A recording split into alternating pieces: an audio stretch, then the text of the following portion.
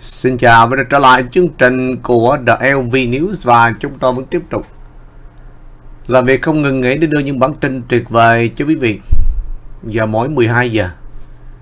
Trưa giờ của tiểu bang California 7 giờ sáng tiểu bang California và 5 giờ chiều của tiểu bang California.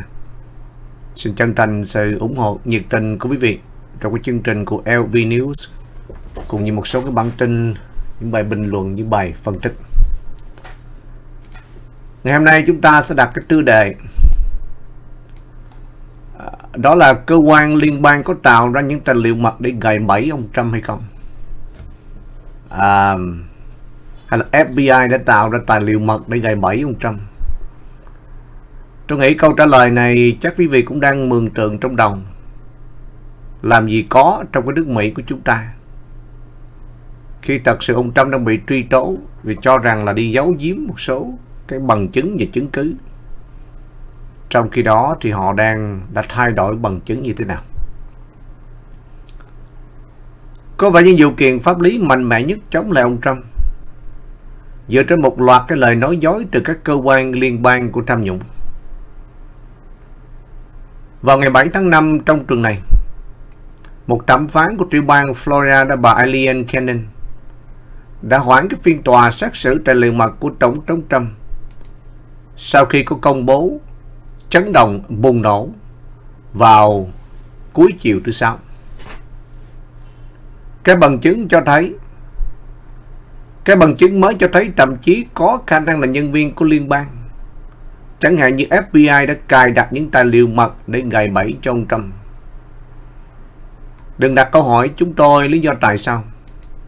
Mà trong cuộc đột kích vào căn nhà Mar-a-Lago của ông Trump không có sự chứng kiến của luật sư, cũng chẳng có sự chứng kiến của người nhà của ông Trump. Chỉ có trời mới biết được rằng thật sự họ bỏ cái gì vào đó. Trên màn ảnh của chúng ta đó có tấm hình. Họ đã dàn dựng để đưa cho cái truyền thông.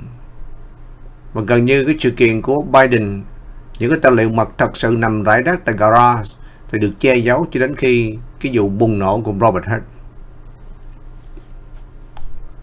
Ngay cả khi những gì đã xảy ra không quá nghiêm trọng, mặc dù chính xác kịch bản đó đã được triển khai chống lại ông Trump nhiều lần, thì không chỉ vụ án có thể đưa ra cái tòa án mà còn một số luật sư liên bang đã mạo hiểm cái giấy phép của họ khi đã xử lý sai cái bằng chứng. Cái giấy phép đây có nghĩa là tác giả là giấy phép hành nghề đó. Khi mà quý vị xử lý sai cái bằng chứng, quý vị khấu chuyên để giả tạo cái bằng chứng thì đương nhiên quý vị sẽ có khả năng bị mất cái giấy phép hành nghề.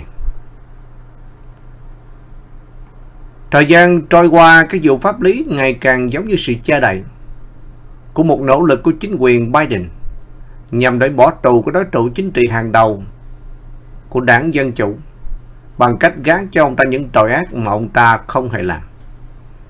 Cái điểm mấu chốt nằm ở đây khi ông Trump tuyên bố tranh cử tháng 11 thì bốn cái vụ truy tố sau đó tiếp diễn. Đặc biệt nhất là cái vụ truy tố tại tiểu bang Georgia. Sau cái bản tin này tôi sẽ cập nhật cho quý vị. Cái vụ truy tố này đúng trong cái giai đoạn mà cái vụ cháy rừng tại Hawaii, Maui bùng nổ và chính quyền của Biden gần như làm ngơ về điều này. Tới ngày hôm nay cái vụ cháy rừng đã bị chìm xuồng và không ai chịu trách nhiệm với chết hàng trăm trẻ em chết trong vụ cháy rừng đó. Cái vụ cháy rừng đã bùng nổ và lan tỏa về tin tức truyền thông bị dập tắt ngay lập tức khi thật sự công tố viên Fanebulis đã đưa ra cái bản truy tố ông Trump. Lúc đầu thì họ, bồi thẩm đoàn chưa có bầu để truy tố ông Trump. Họ đã upload một cái bản đó lên trên trang web. Sau đó họ take down xuống rồi bồi thẩm đoàn lại bỏ và truy tố ông Trump. Và sau đó follow cái trường đó là ông Trump xuất hiện tại tiểu bang Georgia chụp cái tấm ảnh trong tù vân vân che đấy che đậy hoàn toàn cái câu chuyện của tiểu bang Hawaii. Đó là một dấu hiệu khác cho thấy chính phủ liên bang đang sử dụng cái hệ thống Hoa Kỳ để phục vụ theo những đảng phái cực đoan thay vì công lý, đang phá hủy cái bình đẳng trước pháp luật. Câu hỏi lớn được đặt ra, có phải Cục Dự trữ Liên bang Mỹ đã cài đặt những tài liệu dẫn đến cái vụ việc này không? Những tiết lộ gần đây của tòa án đã đưa ra hai cái dấu hiệu cho thấy các nhân viên của liên bang có thể đã cài đặt những tài liệu mật được sử dụng để lôi kéo ông Trump một số phụ tá vào cuộc điều tra quy mô lớn, một vụ can thiệp bầu cử ở tòa án. Đầu tiên là những bằng chứng bùng nổ được tiết lộ trong trường này. Trong tháng 11, trong 11 tháng, cái văn phòng công tố đặc biệt đã che giấu rằng họ đã thất lạc một số. Chúng tôi không biết bao nhiêu hoặc là cái nào. Trong cùng tài liệu được cho là mật mà họ tuyên bố Trump đã sở hữu tội phạm tại căn nhà Mar-a-Lago của ông. By the way, căn nhà Mar-a-Lago của ông trị giá trên 18 triệu. Cái sự quái đản nữa là vì thấy đó, khi mà thẩm phán tại tiểu bang New York Engoron đã định giá căn nhà của ông Trump 18 triệu và cho rằng ông Trump khỏi phóng cái tài sản và đang phải phạt 454 triệu đô la và đang bảo chứng 175 triệu đô la có là một dự án dân sự tại tiểu bang New York. Kinh hoàng chưa? Trong một hồ sơ đưa ra vào chiều thứ Sáu. Như vậy cái hồ sơ này đó là cái hồ sơ gồm có 13 trang. Gồm có 13 trang và hồ sơ là District Court. Tại vì cái vụ kiện được mang tên là United States chống lại Trump. Và tôi sẽ à, tôi sẽ tôi sẽ bình luận cái hồ sơ này cho quý vị. Tôi sẽ summarize cái hồ sơ này cho quý vị để chúng ta nhìn lại cái hồ sơ nó cụ thể uh, như thế nào. Ok, bây giờ tôi xíu nha. Cái hồ sơ này là cái hồ sơ mà phòng công tố viên đã cố gắng để giải thích và cho rằng là kéo dài vụ án là không hợp lý. Thì tôi cũng khá là ngạc nhiên về điều này. Khi thật sự họ vẫn đang tiếp tục lấp liếm rồi sau đó thẩm phán của tòa án bà Kennan có vẻ như là không đồng thuận sự lấp liếm này. Trong một cái tài liệu phản hồi của chính phủ Hoa Kỳ để phản đối cái đề nghị gia hạn thời hạn, tiết lộ trong tin mật của ông Nauta. Ông Nauta tức là tổng quản của Mar-a-Lago. Đồng phạm trong vụ án hình sự liên quan đến ông Trump và Carlos. Tòa án ban đầu đặt cái thời hạn ngày 9 tháng 5 để Nauta và các bị cáo cung cấp thông tin. Thông báo của chuyên gia theo mục 5A của đạo luật thủ tục thông tin mật SIVA. Ông Nauta yêu cầu gia hạn lập luận rằng việc chính phủ phát hiện không đầy đủ sẽ ngăn cản ông ta xác định cái bằng chứng mật và chuẩn bị cho lời khai của chuyên gia. Như vậy lập luận của chính quyền Biden chống lại việc gia hạn như thế nào?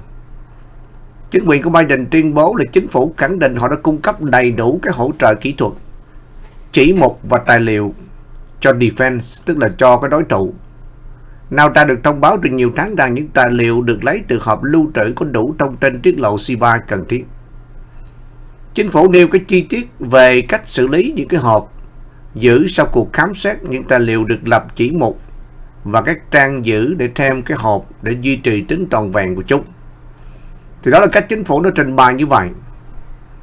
Nhưng mà thật sự trong cái hồ sơ đưa ra vào chiều thứ sáu đó, thì cái văn phòng công tố viên đặc biệt đã tiết lộ rằng những đặc vụ liên bang đã lấy cái hộp từ nhà của Trump trong một cuộc đột kích chưa từng có của FBI. Họ đã lấy ra những gì họ nghĩ là tài liệu mật mà Tổng thống Trump được cho là không được tiếp cận. Họ nói rằng họ đã đánh dấu thứ tự ban đầu của những tài liệu này trong các hộp và những giấy tờ giữ chỗ được đánh dấu để kiểm kê. Rồi đây là vấn đề nha, đây là vấn đề mà họ đã chấp nhận về điều này họ đánh dấu. Nhưng, tuy nhiên, sau khi những chiếc hộp này được chuyển đến văn phòng hiện trường của FBI tại Washington DC để kiểm tra thêm, công tố viên đặc biệt cho biết họ đã phát hiện những chiếc hộp này không còn cái tình trạng như chúng bị trạch thu tại Mar-a-Lago. Như vậy trong cái quá trình di chuyển này có thể là họ bỏ thêm cái tài liệu mật vào để truy tố ông Trump. Khi cố gắng ghép các hộp lại với nhau thì văn phòng công tố viên đặc biệt cho biết trong nhiều trường hợp, nhưng không phải tất cả FBI có thể xác định tài liệu nào phân loại tương ứng. Với một chỗ ở ờ, với một tờ giữ chỗ cụ thể, họ nhấn mạnh thêm. Hồ sơ cũng cho biết FBI nói chung đã chèn. Vì nghe cho rõ nè. Hồ sơ cho biết FBI nói chung đã chèn các giấy tờ, các tờ giấy viết tay, cho thấy những trường hợp ngoại lệ được sử dụng phần giữ chỗ để chỉ ra những vị trí làm ban đầu của tài liệu được cho là mật mà Trump bị cáo buộc là sở hữu hình sự. Trong phần chú thích cuối trang thì công tố viên đặc biệt viết rằng cái tình huống này không nhất quán là những gì mà cố vấn của chính phủ trước đây đã hiểu và trình bày trước tòa án. Nói cách khác là các công tố viên đặc biệt đã nói dối trước tòa án, nói dối trước công chúng và nhóm pháp lý của ông Trump trong suốt cái thời gian về những bằng chứng làm nền tảng cho một toàn bộ của vụ án. Tức là tất cả những cái bằng chứng này để truy tố ông Trump bây giờ chính thức là bằng chứng giả tạo. Thay đổi, tampering bằng chứng. Nếu họ không luôn sử dụng cái phần giữ chỗ để đánh dấu những tài liệu đã được di chuyển, không biết một số phần giữ chỗ tương ứng với tài liệu nào, thì một số tài liệu có thể bị thiếu hoặc đưa thêm vào. Nếu không có bản kiểm kê đáng tranh cãi có thể chứng minh được các phần hộp tài liệu bị tịch thu, làm sao ai có thể tin tưởng được những chiếc hộp đó thể hiện chính xác những gì mà ông Trump có. DOJ của Bộ Tư pháp Biden đã thừa nhận những chiếc hộp đã bị giả mạo và không còn ở tình trạng ban đầu. Về mặt thứ hai, có một sự thật được phát hiện là một cơ quan liên bang đã gửi hai cái pallet. Đây là cái điểm mấu chốt ở đây nè.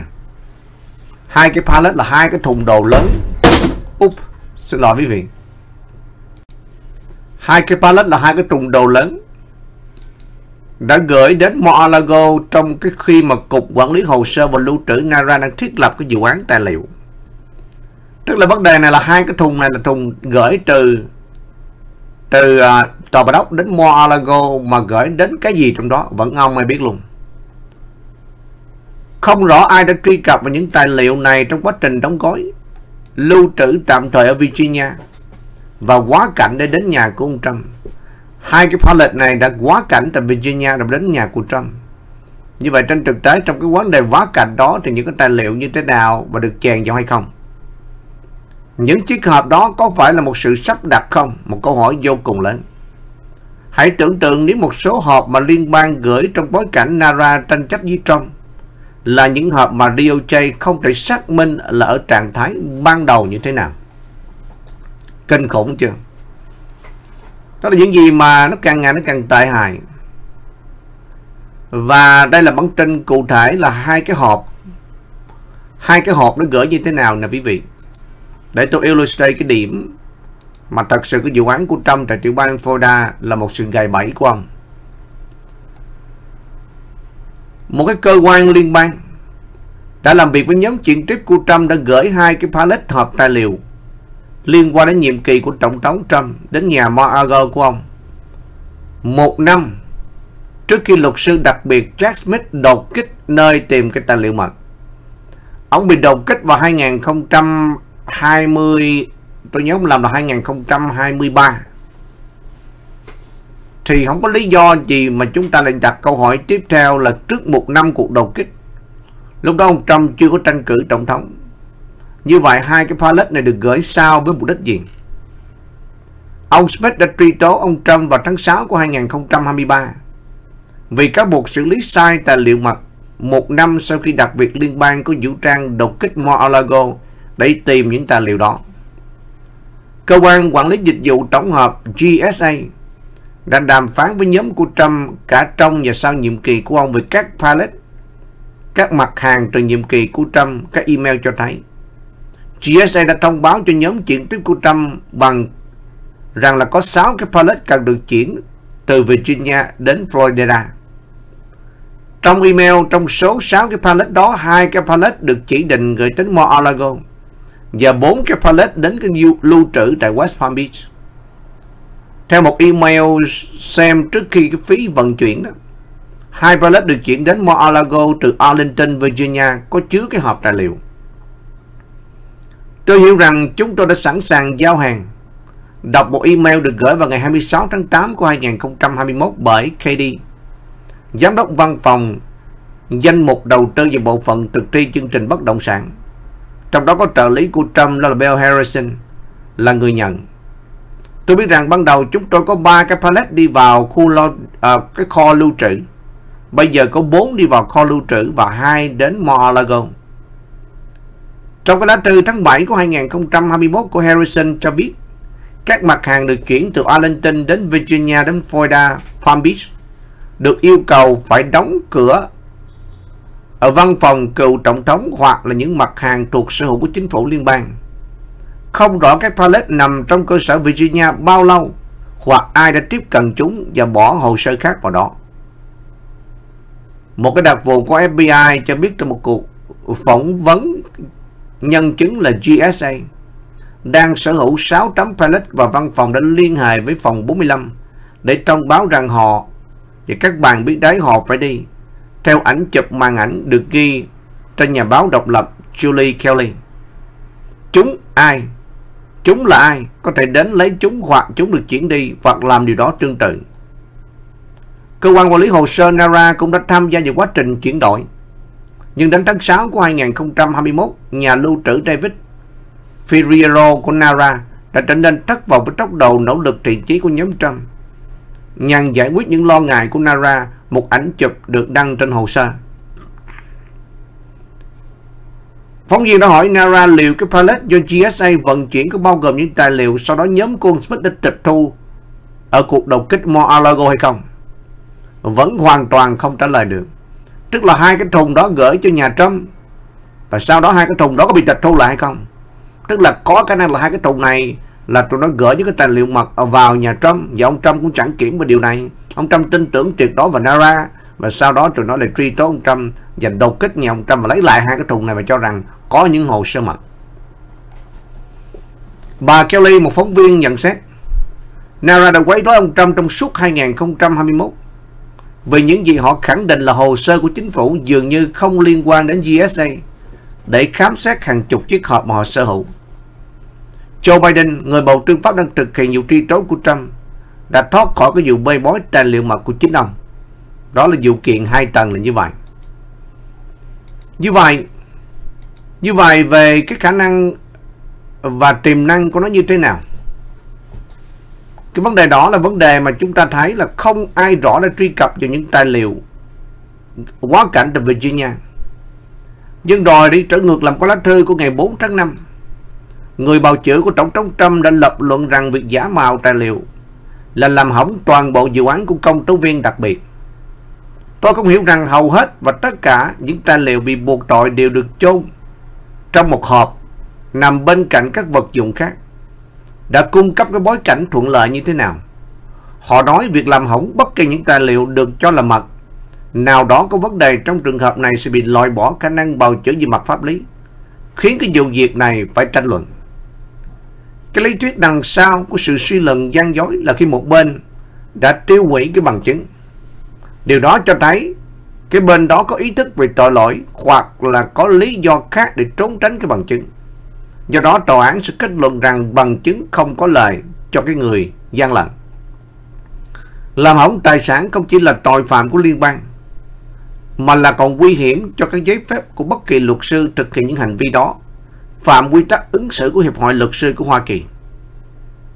Làm hỏng bằng chứng, các biện pháp trừng phạt đối với hành vi hư hỏng gồm các vụ kiện chống lại đã người cáo buộc đã phạm tội, bác bỏ các những trường hợp ảnh hưởng Điều đó đặc biệt đến cái tính hợp lý ở đây là bị vì toàn bộ câu chuyện dựa trên những tài liệu mà DOJ đã thừa nhận là giả mạo. Có nghĩa rằng là tất cả những cái hồ sơ mà truy tố ông Trump mà nói là ông Trump đang giữ X amount of hồ sơ mật là toàn bộ là những giả mạo về bằng chứng.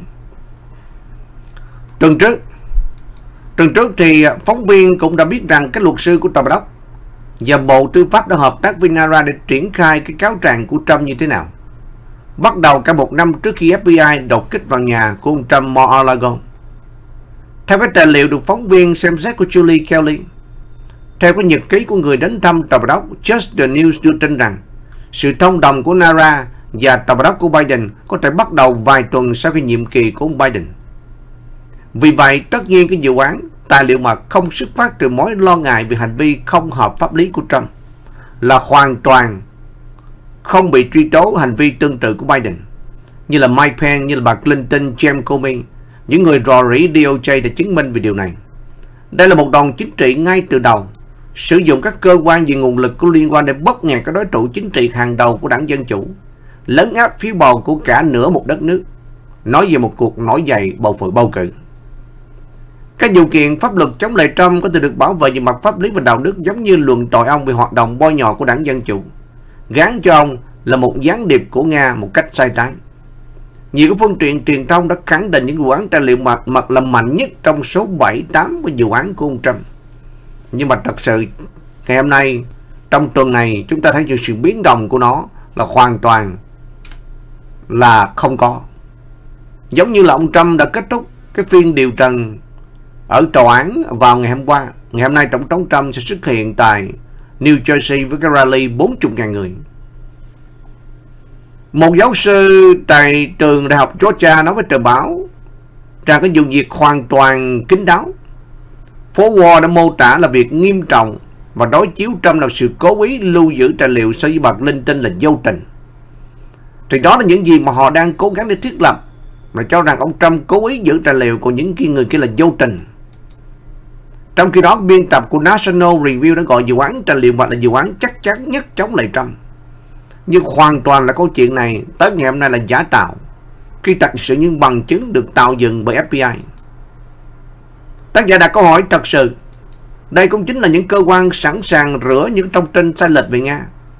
Từ ứng cử viên của đảng Dân Chủ trong qua điều tra FBI bằng Spygate hiện đang ảnh hưởng đến ba chu kỳ của bầu cử. Họ cũng chính là những người nói dối về đất nước Ukraine để bảo vệ sự tham nhũng của Biden bằng một bản luận tội bào chữa đối với Trump. Những người đứng đầu cơ quan trình báo đã nói rằng cái máy tính sách tay của Hunter Biden là thông tin sai lệch từ Nga. Cái điểm này là cái điểm rất là mấu chốt và quan trọng, khi cái điểm này là 47% cử tri gần như sẽ bỏ phiếu khác cho Biden. Nếu mà thật sự họ biết rằng cái máy tính sách tay của Hunter Biden không phải là sản phẩm từ Nga. 51 nhân viên tình báo cườm cán của nước Mỹ đã ký vào cái tờ giấy đó. Trong đó kể cả luôn những nhân vật như là cựu giám đốc CIA trong quá khứ với thời của Obama. Tác giả đã phản biện mạnh mẽ với cho rằng họ chính là những người đã nói dối tòa án, bí mật để theo dõi chiến dịch tranh cử của Trump. Sau khi rõ ràng đã thành lập một trình nguyện viện thông qua cái mối quan hệ thông tin tinh vi. Họ chính là những người đã khơi dậy khẩu hiệu Nga Nga bằng những bằng cách sắp xếp một cuộc gặp với luật sư của Nga và Donald Trump Jr. mà không cho rằng lãng phí cái thời gian của mình chắc chắn sẽ tạo ra một chu kỳ tin tức bôi nhọ một cách mạnh mẽ. Trong khi đó ông Steven antono người điều hành văn phòng trực địa tại Washington FBI, khi rời khỏi văn phòng giả mạo là những tài liệu dự án của Trump cũng chính người đã bị giám sát bởi FBI gài bẫy ông một cách công tư về âm mưu, bắt cóc, vân vân và nhiều thứ khác nhau. Ok quý vị, Bài viết tuyệt vời, bài phân tích tuyệt vời. Như vậy nếu mà thật sự chúng ta trả lời câu hỏi là cơ quan liên bang có tạo ra những tài liệu mật để gài bẫy ông Trump hay không? Câu trả lời yes, yes, yes, nắng yes, yes, yes, yes, yes, trăm phần trăm về điều này. Và welcome một lần nữa tất cả các quý khán trên đã trở lại chương trình. Trở lại chương trình của chúng ta và chúng ta sẽ trở lại một bản tin khác cũng liên quan đến vụ án của Trump đến con mụ Fanny Wallace. Con mụ này là con mụ mà đang gặp rất là nhiều rắc rối. Là bởi vì sau cái sự kiện bà này đã trả tiền cho bồ của bà là Nathan Wayne và dự án rắc rối này sẽ tiếp diễn như thế nào? Tòa phúc thẩm Georgia sẽ xem xét kháng cáo của ông Trump về dự án biện lý quận Fanny Wallace. Đó là chúng ta đã nhận được thông tin trong tuần. Nhưng mà thật sự là cái vụ án này có thể hủy bỏ hay không nếu mà tòa phúc thẩm ra phán quyết loại bỏ bà Fanny Wallace. Đây cái điểm mấu chốt được bản tin họ đang muốn đưa cho chúng ta. Tòa phúc thẩm Georgia đã xem xét kháng cáo của Tổng thống Trump về phán quyết cho phép biện lý Fanny Wallace tiếp tục là công tố viên chính trong vụ kiện bầu cử của tiểu bang. Vì câu trả lời nếu ông Trump thắng cử, vụ kiện chống lại ứng cử viên tổng thống của đảng Cộng hòa có thể kết thúc khi chiến dịch vận động luật pháp của đảng Dân Chủ tiếp tục thất bại trước cuộc bầu cử. Vào tháng 3, thì thẩm phán Scott McAfee của quận Fulton đã xác định bà Willis công tố viên phải đối mặt với hai thứ tiết là không có mối, có mối quan hệ không phù hợp với lại công tố viên đặc biệt Nathan Wayne. Có thể tiếp tục lãnh đạo nỗ lực chống lại Trump khi mà Nathan Wayne từ chức. Thẩm phán đã phán quyết rằng Willis có thể ở lại về việc miễn là Nathan Wayne rút lui cuộc điều tra. Sau khi quận Fulton đã trả 650.000 đô la cho ông Wayne 2 năm trong cuộc điều tra của Trump. Willis và ông Wayne đã bị cáo buộc chi tiền có vẻ như để truy tố Trump tại những kỳ nghỉ xa hoa đến Bahamas, Aruba, Belize và thung lũng Napa. Các bị cáo trong phiên tòa xét xử chính trị hóa Georgia của Venables có thể bị loại bỏ nếu mà thật sự họ gần như chứng minh được trên cái tòa của phúc thẩm. Trở lại, đó là một cái điểm mà chúng ta cần phải nhắc ở chỗ này. Cái thẩm phán trong cái vụ án của ông Trump tại tiểu bang Georgia là người đóng góp cho chiến dịch tranh cử 2020 của bà Willis. Vì nhớ rõ, cái tòa án này là tòa án vẫn tiếp tục không phải là tòa án công bằng cho ông Trump. Nó cũng giống như tòa án tại tiểu bang New York hiện giờ là như vậy. Thẩm phán của vụ án là ông McAfee, người đã quyên góp cho chiến dịch 2020 của Bullis, đã ra cái phán quyết rằng yêu cầu của bồi yêu cầu bồi hoàn của luật sư quận có thể là bất thường và việc thiếu bất kỳ cái bằng chứng thực tế nào liên quan đến cách dễ hiểu là không chứng minh được bà Willis sẽ nhận được tài chính của ông Wayne. Là bởi vì thẩm phán đã cho tiền, người ta đã thẩm phán phải bảo vệ cho bà Fanny Willis. Thẩm phán tiếp tục cho phép Trump và 8 đồng phạm bị cáo khác. Điều mà tòa phúc thẩm Georgia đã chấp nhận hôm thứ Tư tuần này. Quyết định nghe lời yêu cầu của Tổng thống Trump về việc loại bỏ bà Fanny Willis và đó là những gì mà hoàn toàn chúng ta đang chờ đợi. Như vậy, cái quyết định của tòa án phúc thẩm Georgia đánh cho một chiến thắng khác cho ông Trump trong tuần này. Với chiến dịch tuân thủ cái pháp luật gay gắt nhằm để truy tố ông Trump. Thứ ba thì thẩm phán Alien Cannon cũng đã khoản dự án của Jack Smith. Như vậy, tất cả những dự án bây giờ đổ dồn về. Đó là dự án tại tiểu bang New York. Như vậy cái dự án tại tiểu bang New York trong tuần này nó kết luận như thế nào? và nó kết thúc như thế nào tôi sẽ trình bày cho một đoạn ngắn à, để chúng ta nhìn lại nó như thế nào cái bạn sau 4 tuần xét xử thì các công tố viên cho rằng phiên tòa hình sự đầu tiên xét xử một cựu tổng thống sẽ kết thúc. Ông Trump bị biện lý quận Manhattan truy tố 34 tội danh làm giả hồ sơ kinh doanh. Thường là khinh tội nhưng tòa án đã xét xử. Các công tố viên cáo buộc rằng các hồ sơ này được tạo ra để che đậy một âm mưu gây ảnh hưởng đến cuộc bầu cử cho 2016, do đó tạo thành một trọng tội. Trong trường này, các lời khai trở nên sôi nổi hơn. Lệnh bịt miệng của Tổng thống Trump vẫn còn hiệu lực, đã ngăn cản ông bình luận về những cáo buộc mới về tính cách của ông. Thẩm phán tòa án tối cao New York John Merchant xét thấy không có lý do nào để thu hẹp cái lệnh bịt miệng này mà cho phép Tổng thống Trump bình luận công khai. Bên cạnh đó, cơ quan phúc thẩm vẫn chưa đưa phán quyết về cái kháng cáo lệnh bịt miệng của bên bào chữa ông Trump.